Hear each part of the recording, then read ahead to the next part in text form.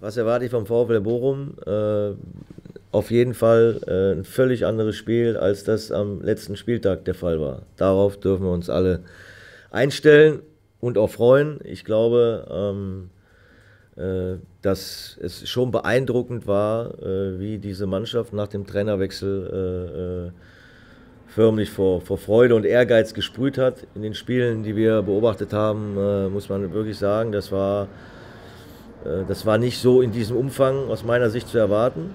Ähm, und man kann schon äh, nach so kurzer Zeit äh, die Handschrift vom neuen Trainer sehen. Die Jungs wirken befreit und, und, und sprühen vor, vor Spielfreude und äh, darauf müssen wir uns einstellen. Ähm, wir dürfen uns auch darauf einstellen, dass äh, sie äh, ein extrem offensives, äh, aggressives Spiel pflegen werden. Der ein oder andere hat vielleicht die, die, die Szenen vom Wochenende gegen Borussia Dortmund im Kopf äh, und äh, gesehen, dass äh, der VfL Bochum alles andere getan hat, als sich hinten reinzustellen und zu verteidigen, sondern wirklich versucht hat, das Spiel in die Hand zu nehmen.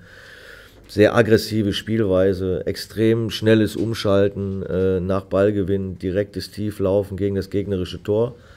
Ähm, ja, also wir werden kräftig durchgeschüttelt, davon bin ich äh, ziemlich überzeugt.